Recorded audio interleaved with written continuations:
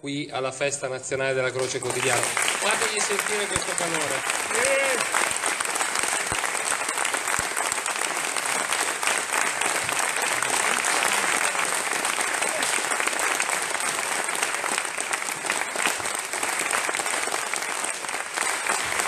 Sono donne e uomini che hanno famiglia, hanno figli e che hanno dedicato veramente praticamente 24 ore su 24 il loro tempo a costruire tutta questa casa, questa accoglienza che vi ha permesso di stare insieme questi due giorni.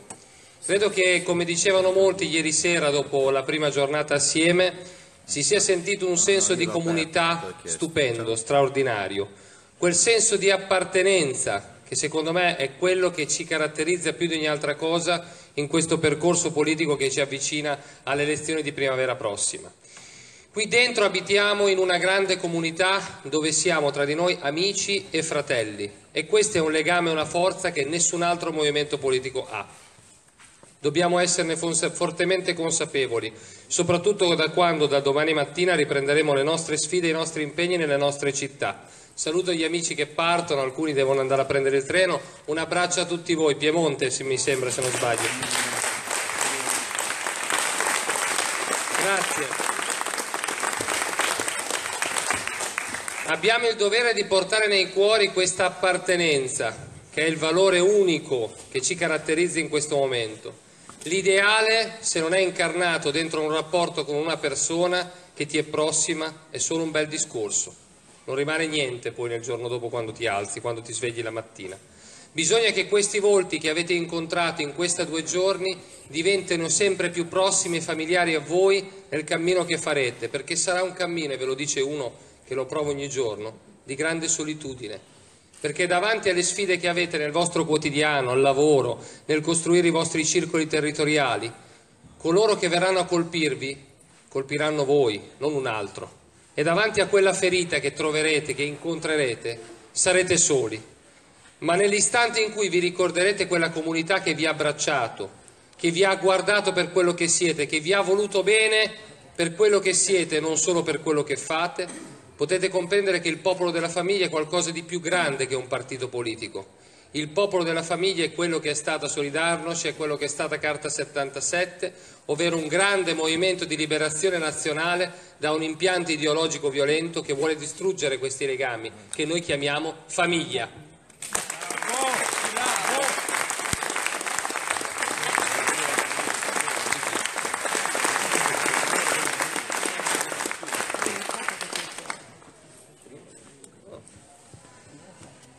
Live eh, ovviamente ci sono alcuni cambiamenti che adesso vedremo. Vado avanti nel dire quello che stavo dicendo. Questo è il passaggio decisivo, per quello che abbiamo fatto tutta questa fatica, amici. E per quello che stiamo aprendo questa fase finale che ci avvicina alle elezioni politiche con coraggio. L'abbiamo detto aprendo la festa nazionale ieri pomeriggio. Siamo la terza via tra due modi di pensare politica diametralmente opposti secondo la logica dei mass media, ma uniti nel modo di proporsi politicamente. Da una parte chi pensa che l'uomo deve essere sottoposto alle logiche del mercato che debbano dominare e dall'altra parte da un, uh, movimenti politici che pensano che lo Stato debba ritornare dominante sulla persona.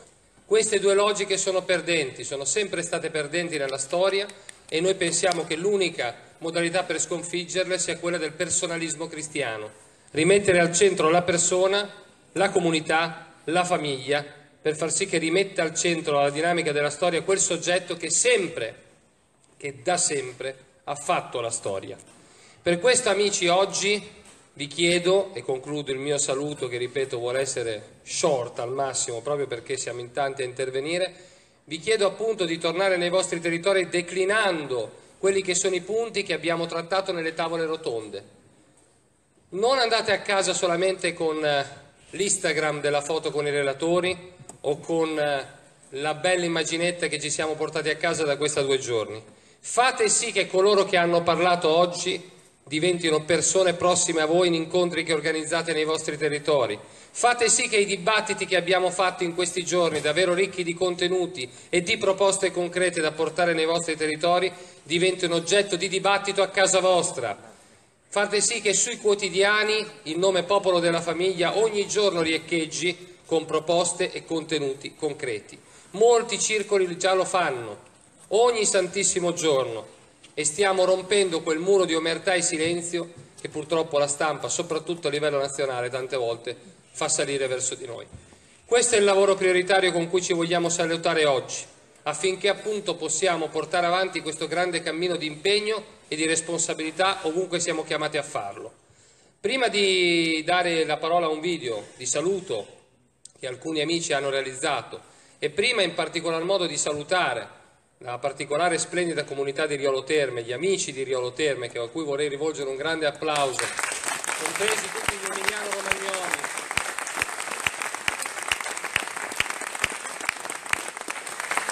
tutti gli amici della Croce Quotidiano, gli amici della PDF TV, gli amici di tutte le varie realtà locali e regionali che hanno partecipato a questa due giorni. Voglio chiamare qui sul palco e cambio naturalmente il programma, ma Turrini mi conosce, ha vissuto la campagna elettorale con me, quindi ogni occasione di modifica per me è preziosa, per chiamare una persona che lavora sempre nell'ombra, ma è una persona che ha sempre dato un grande contributo a questo cammino insieme e che voglio ringraziare con questo momento che chiamo qui a fianco a me. Nicola Di Matteo, coordinatore nazionale del Popolo della Famiglia.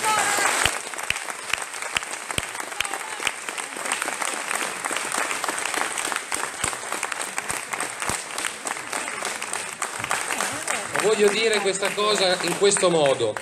Il popolo della famiglia è fatto di persone che si vogliono bene, e su questo palco ricordatevi unica foto, questo abbraccio tra amici, perché questa è la nostra forza. Nicola, te la parola. Grazie a tutti. Ecco, veramente Mirko ha messo tanto impegno e tanto amore, sono molto onorato innanzitutto di questa amicizia che ci lega profondamente, veramente mi emoziono perché si vede una persona, una persona leale, un fratello, un amico che sta mettendo questo a servizio di tutti noi, a servizio di questo popolo, a servizio del percorso che abbiamo iniziato con Maria Dinolfi e Gianfranco Amato per il cambiamento di questo paese, di questa città, per il cambiamento che dobbiamo portare da oggi a tutti questi giorni. Amici, ma quanto è vero che esiste il nostro Signore Gesù Cristo, o ci sarà il popolo della famiglia o non so, cosa succederà domani a questa società. I nostri figli, io sono padre di due bambini e sapete il mio intervento l'11 marzo 2016 che è nato questo popolo, il popolo della famiglia, Giosuè. E da lì se oggi, se oggi non ci attiviamo, passerà tutto, passerà tutto, passerà tutto, se ci sarà un'altra classe politica che governerà questo paese e mio figlio se passerà questa dolce morte. Oggi Giosuè non era con me e non era con noi e non era con voi e grazie a Dio voi lo conoscete, sta bene e io ringrazio voi, ringrazio tutti e in particolare l'amico Maria Di Norfi, che ancora una volta, io dicevo ieri è stato un pazzo con la Croce Quotidiano ed è stato un pazzo che con amore sta mettendo sacrificio e dedizione e girando l'Italia, rinizierà a girare l'Italia per costruire il popolo, la famiglia in realtà, in positività e in amore, dandoci quello che abbiamo bisogno, la lealtà, l'onestà, legalità. Grazie amici, viva il popolo della famiglia, viva tutti noi, viva voi e insieme cambiamo la sorte di questo paese. Grazie.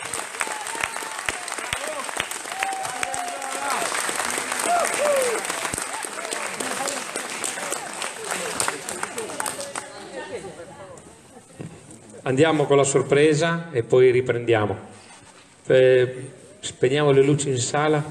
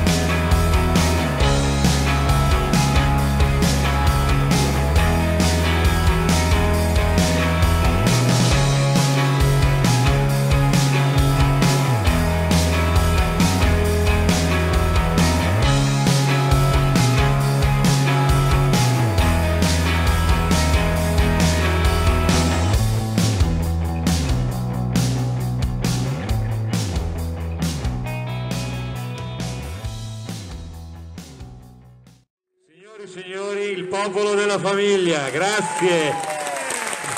Siamo popolo, grazie a chi ha realizzato questo, grazie a Max Esposito e Alessino e Guido Mastrobuono, grazie, grazie, grazie. Alex, riaccendiamo le luci, per favore, anche perché adesso chiamiamo sul palco un amico, è già stato a Riolo, e lo ringraziamo anche per questo e molti di noi dopo che quando venne a Riolo eh, rimasero colpiti dalla, dalla, dalla, sua conferenza quindi per noi è un piacere rincontrarlo poi tanto più che è un amico del popolo della famiglia signore e signori Fabio Toriero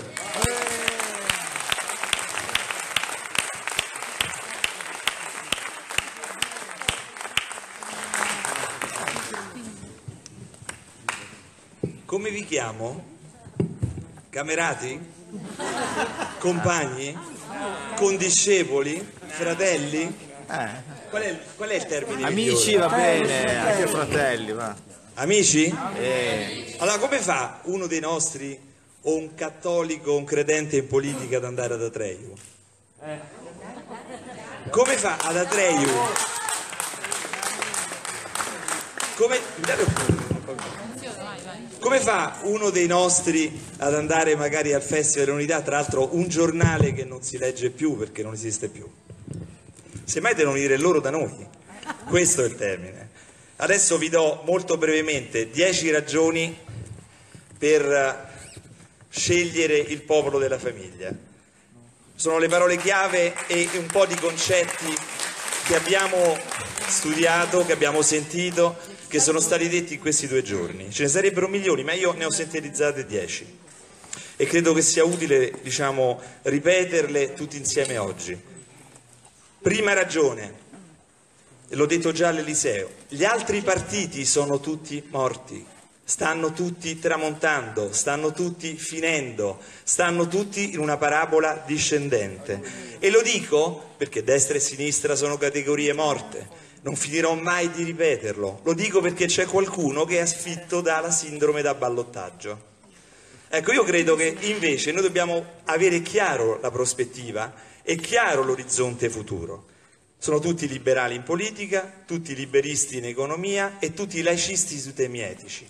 PD, 5 Stelle, Forza Italia sono tutti uguali.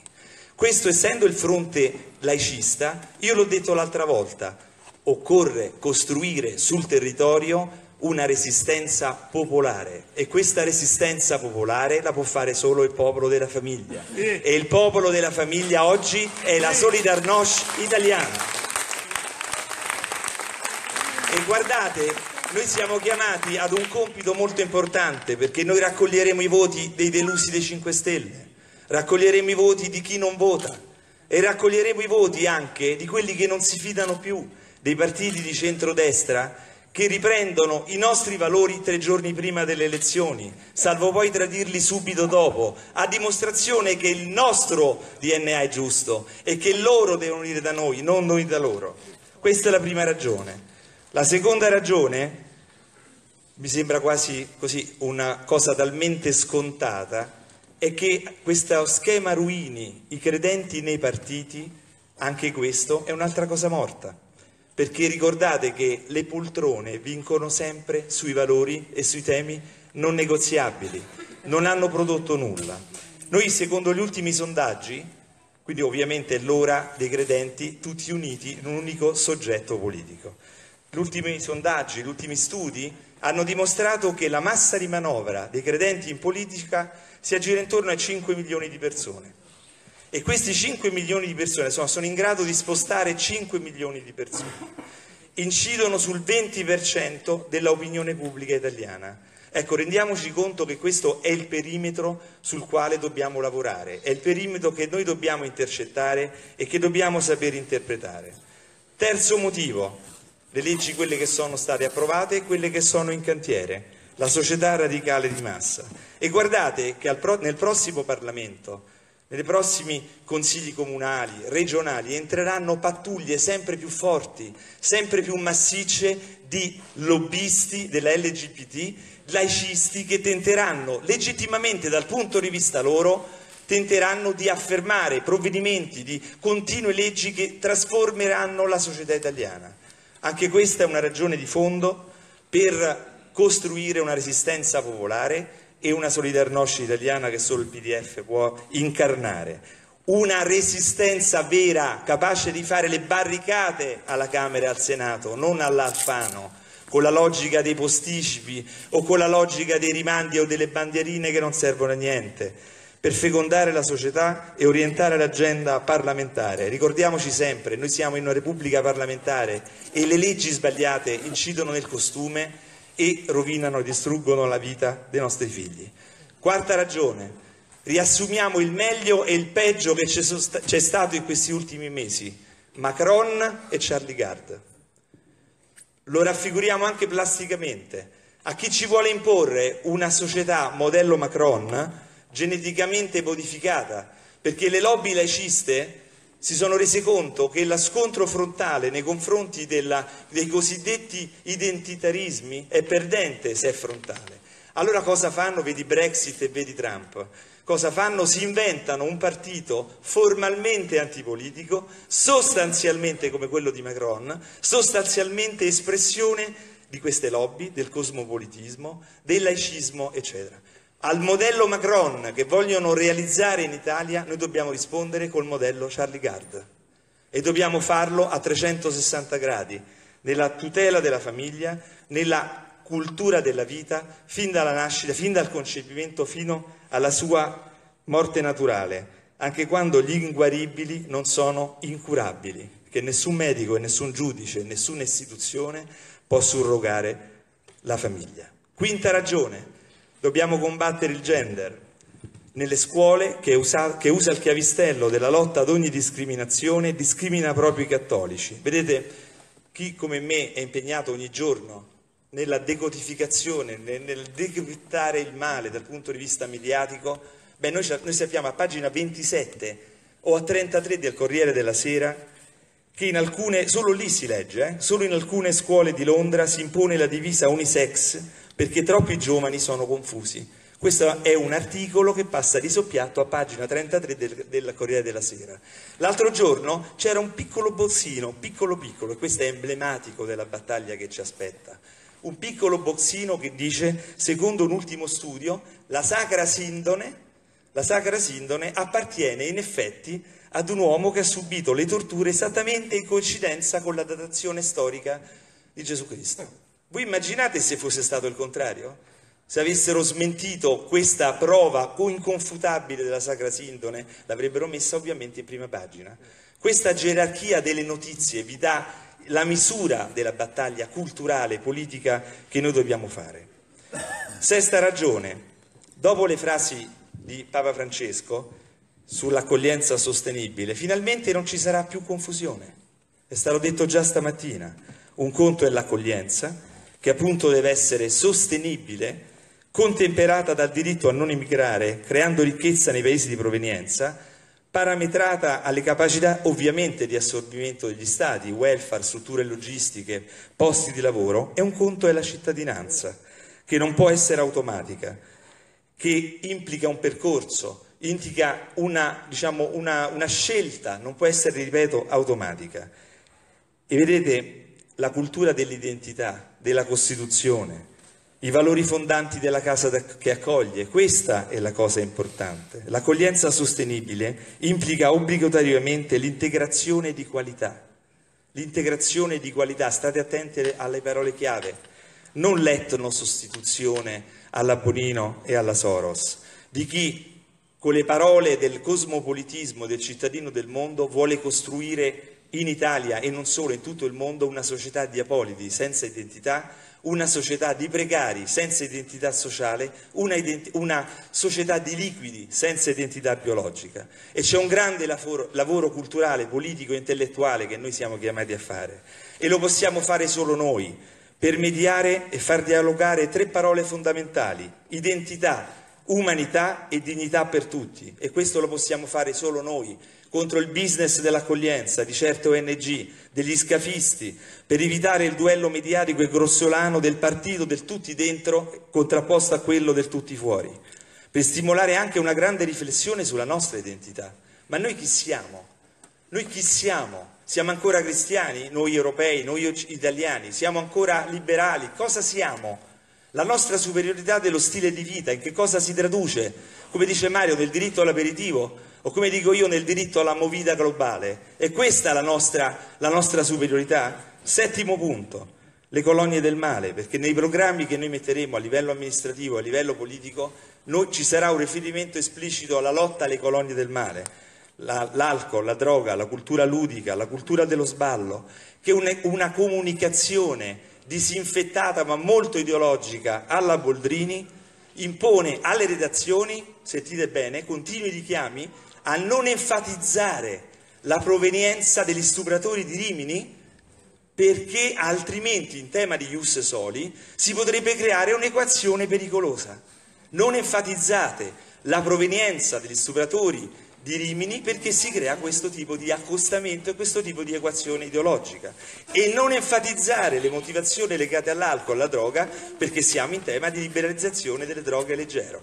Però quando si tratta di enfatizzare la provenienza dei carabinieri, là si fa e si enfatizza la provenienza dei carabinieri, si dice sempre carabinieri, carabinieri, carabinieri.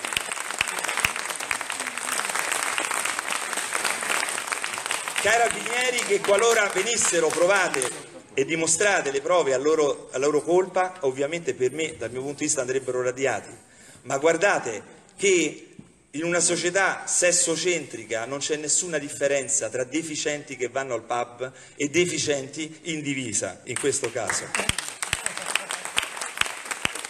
La vera ragione di questo godimento ideologico nei confronti dei carabinieri è, è un'altra, è una sorta di autobiografia nazionale. Guardate che il vero messaggio, sapete qual è? Se anche i carabinieri stuprano, significa che io posso fare come voglio me ne fotto delle regole. Se nella Chiesa ci sono i pedofili, significa che io posso continuare ad essere ateo.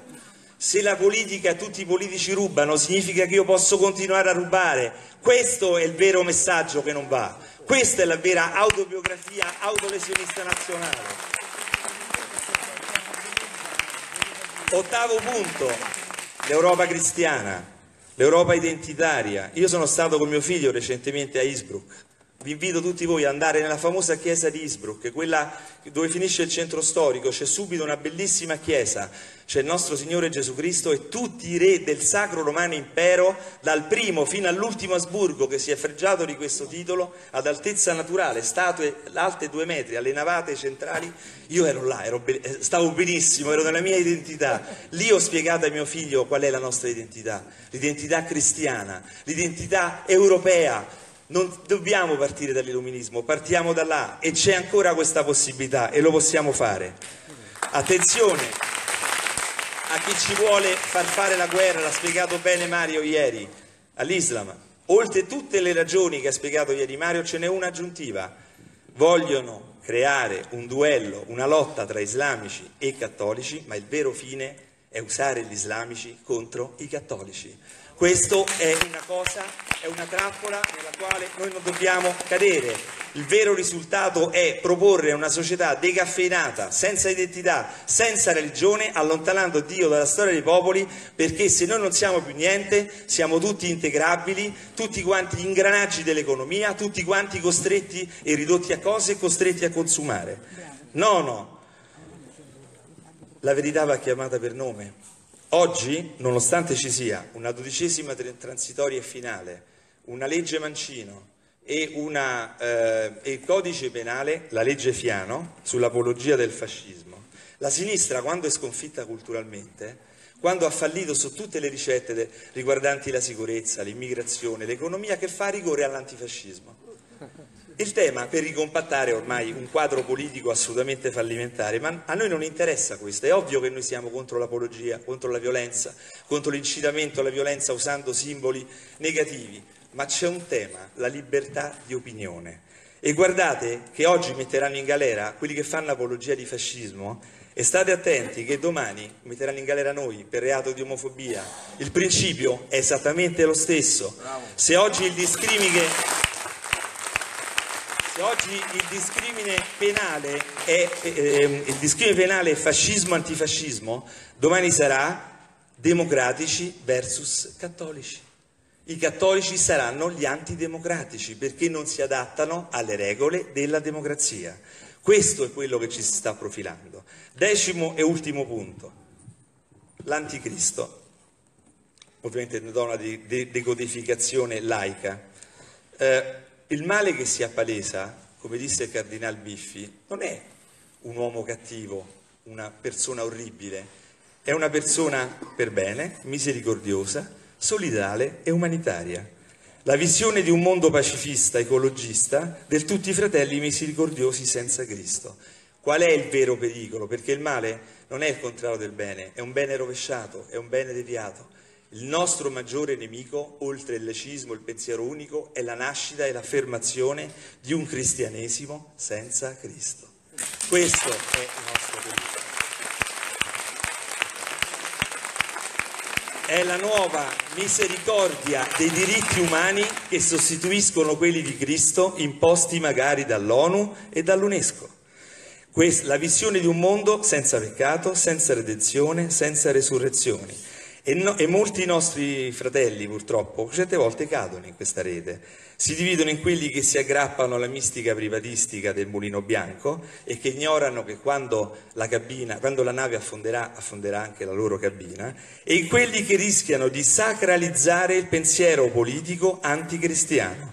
Il cristianesimo l'ha fondato il risorto, non Pannella, non Marco Pannella.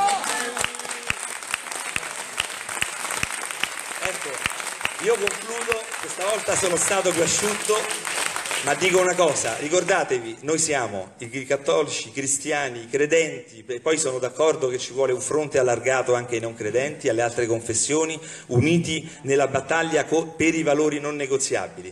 Però ricordate, i credenti sono il sale del mondo sono il sale del mondo ed essere sale implica una sofferenza, un sacrificio, ma anche dei grandi doni, doni immensi.